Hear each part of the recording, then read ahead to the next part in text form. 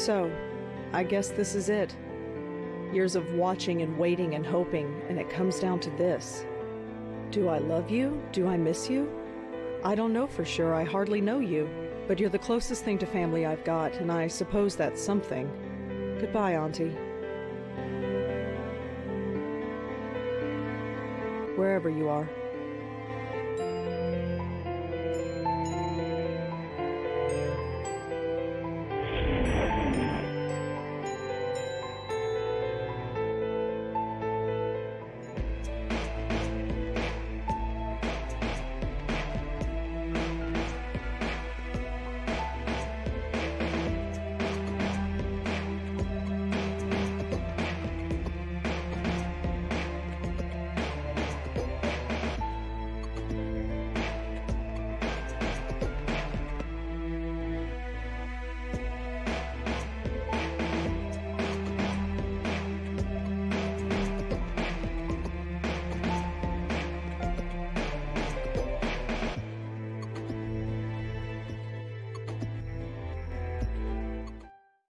What a morning.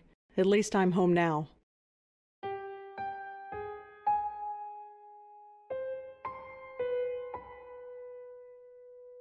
Hi there. Um, hi? So, who are you visiting today?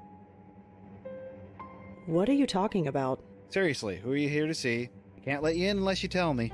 Um, I live here? No, you don't. I know everybody in the building. I don't know you. Really? I live here. Nice try. I know everyone in this building, and I don't know you. Sorry. I've lived here for five years. Then how come I've never seen you before? I have no idea. Doesn't matter. If you lived here, I'd know you. That's all there is to it. Please, I've had a really tough morning. I need to get home. Sorry, lady. Rules are rules. Who the hell are you? Jim Burdo.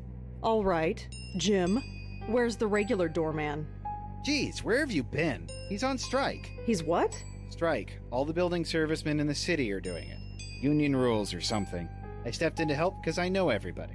How come nobody told me? Notices were posted all over the building. I put 'em up myself. If you lived here, you'd have seen 'em. Who pays attention to things like that? Well, that's not my problem. Listen, I really live here. Fourth floor, number E. 4E. 4E. Hmm. Isn't that apartment empty? No! I live there, and I want to go there. Thank you very much. Oh. Hmm. Maybe you're telling the truth. He sees reason, thank God. Do you have any ID? A driver's license or something? Yes, I have a driver's license. It's upstairs. In my desk drawer. Crap. Come on, this is New York. Who actually drives? True. But I still can't let you in unless you prove you live here. Okay, I have no ID, and you don't know me. What can I do to prove that I live here? Hmm. Well, can anyone in the building vouch for you? I'm not sure. I mean, I don't really know anybody here. How long have you lived here again? Be quiet. Not all of us are social butterflies. Okay, whatever. Hey, what about Nishanti Sharma? She could vouch for you. Who is this Nis. uh, Nish? Nishanti. Nishanti Sharma. She lives in 4F, you know, right next door to 4E. You really don't get out much, do you? Your point? Nothing, but I'm sure she could vouch for you. Great, call her up. She's not here. Of course she isn't. So I gotta wait here all day for her. You might have to. Although, she usually goes to Washington Square Park in the mornings. You could look for her there.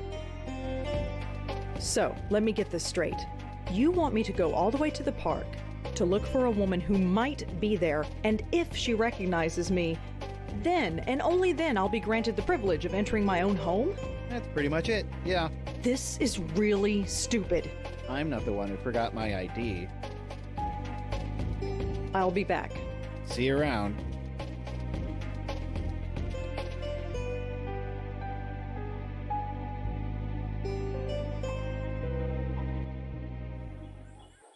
Washington Square. It's been a while since I've been here. Still looks the same, I guess. Although the dog park is empty. I wonder why.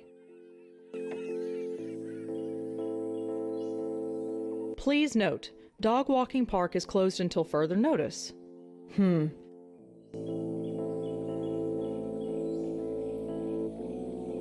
Mmm. now I'm getting a stress headache. I need to get home.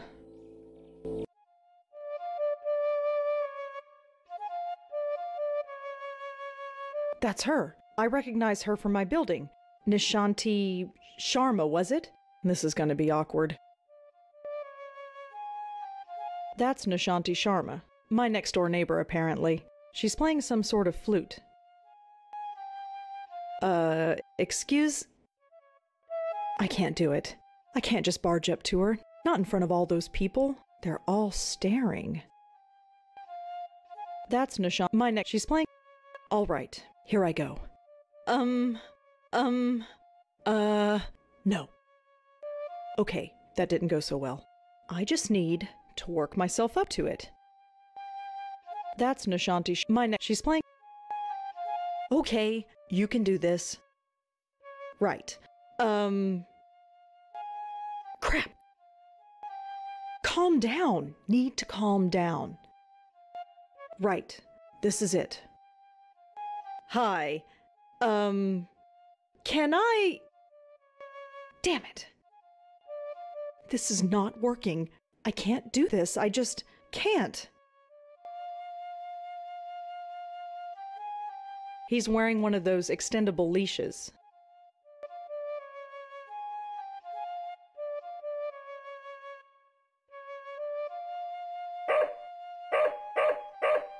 Oh, for heaven's sake. Don't worry, Moti. I'm coming.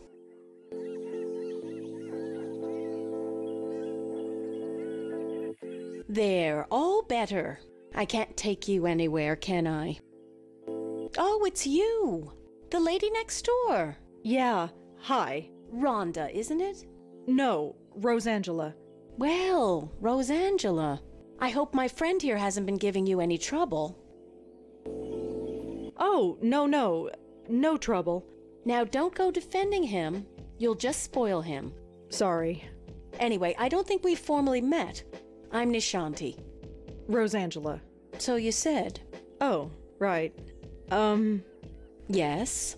I have a strange favor to ask. Go ahead and ask. What are neighbors for? You know that building servicemen strike? Yes. Jim Burdo is covering, isn't he? Yeah, that's the problem, see. He doesn't recognize me. Oh? Oh. So you need me to vouch for you? Yeah, I know this is pretty stupid. Don't worry about it. Moti is getting a little cranky anyway. Let's get you home.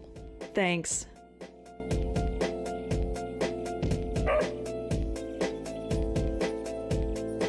Mm, Are you all right? I'm fine. I just need to get home. All right. Let's keep walking.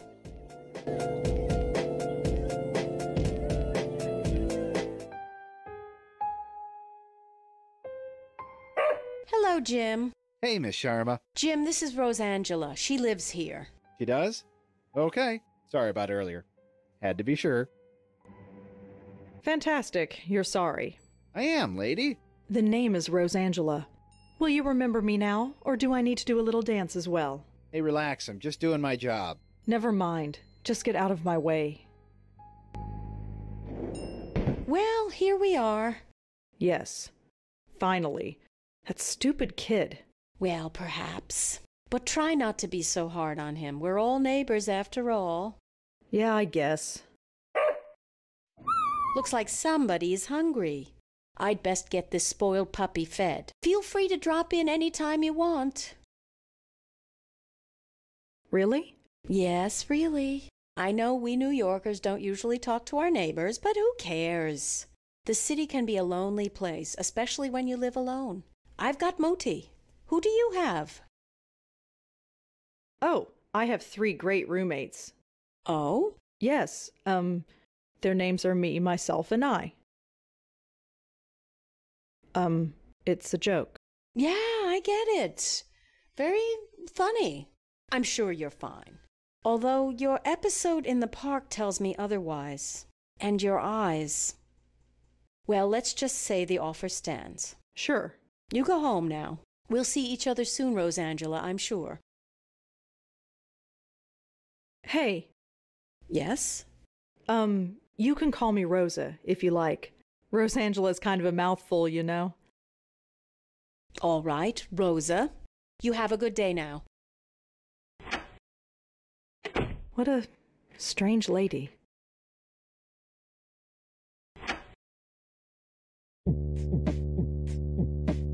Home, thank God. I've never been so happy to see a 500 square foot room in my life. Ugh.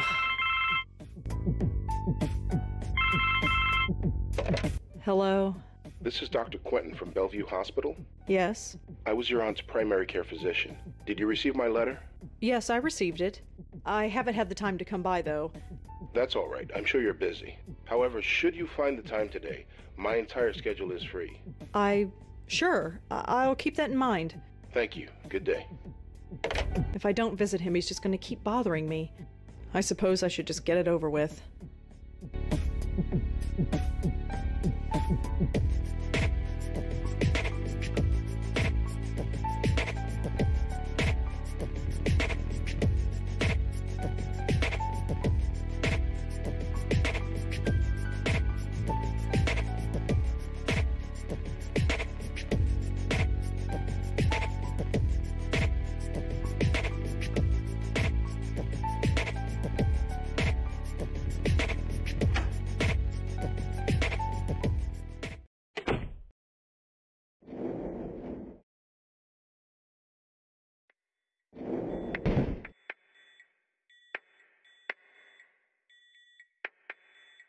Some kind of motivational poster.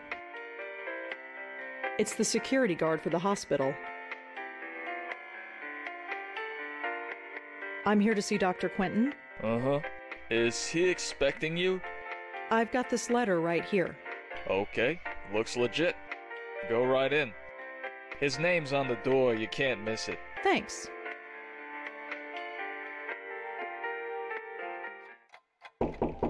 Come in. Dr. Quentin? Yes. I'm Rosangela Blackwell.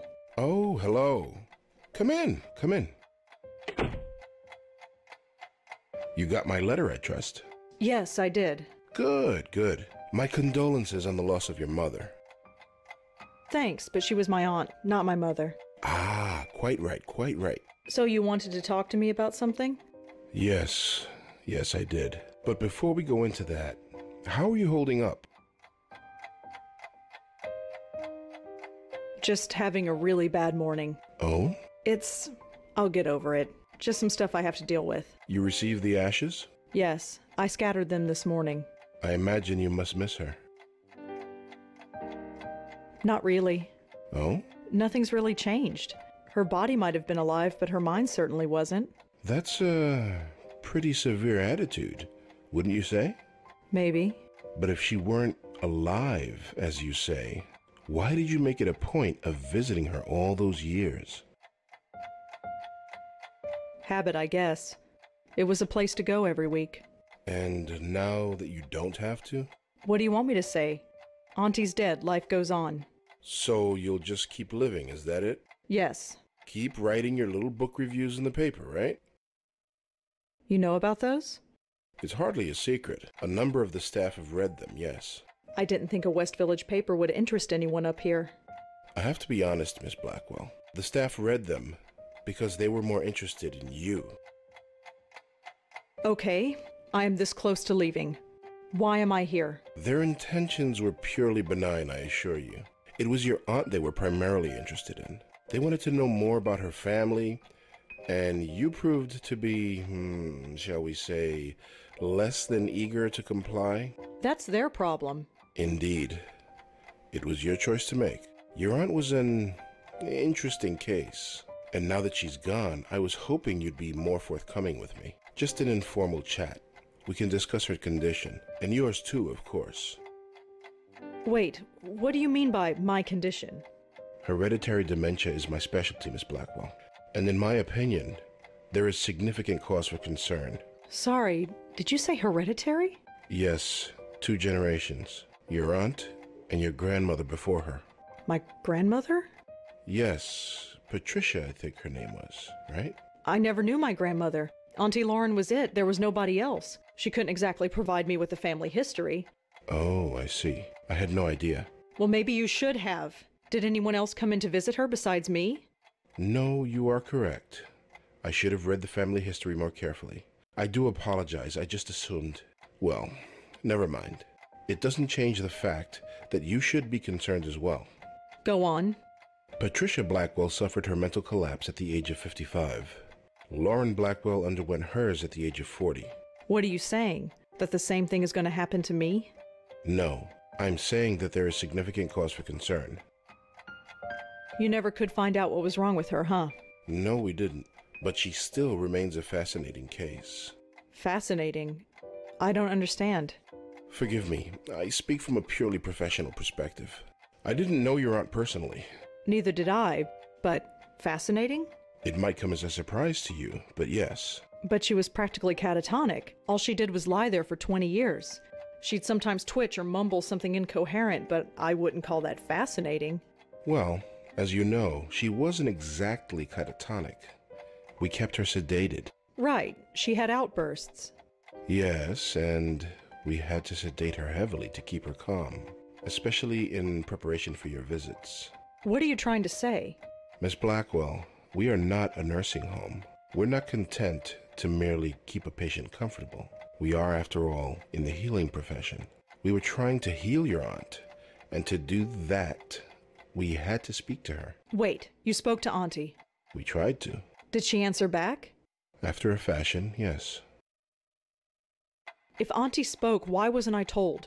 Miss Blackwell, do you remember what brought your aunt here in the first place? Her screaming, her hitting herself? I was only five years old at the time, but I kind of remember. In order to prevent her from doing harm to herself or to others, we were forced to sedate her. When we limited her medication, she simply reverted to her former state. Her natural state, I'm sorry to add. What did Auntie say? Nothing that made any sense. But one thing was clear. She was in great pain. Pain? What kind of pain? It's difficult to say, but it was immense. How immense? When we reduced her medication, the transformation was dramatic.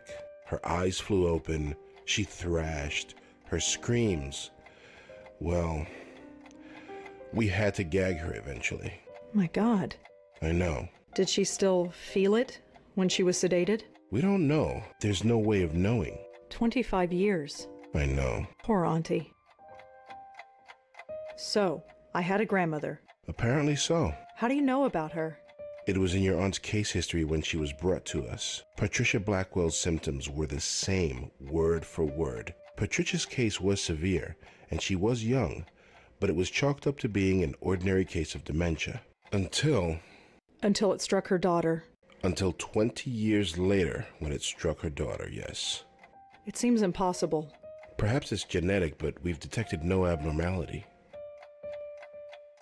You couldn't find any other link between the two cases. None, aside from the family connection. And uh, a name. A name? What name? The documentation we had on your grandmother is minimal, but there was one interesting item noted. During her more lucid moments, she uttered the name Joey. Your aunt, too, would cry out that name on occasion. Joey? Yes, Who's Joey? we've been wondering the same thing for 25 years. So what should I do? Right now, nothing. This type of thing is unprecedented. There is no procedure to go through, no medication I can give you. I just want you to be aware, is all. And come talk to me if, well, there's any concern. Is there anything else you need to tell me before I go? Your aunt had some personal effects in storage. As the next of kin, you're the beneficiary. It's just a folder, some documents, and so on. It's being sent to your address via messenger. Oh, well, thanks for that. It's no problem at all. Goodbye, Miss Blackwell. My schedule is fairly open now, so feel free to drop in anytime. I'm always happy to discuss my favorite patient. Sure.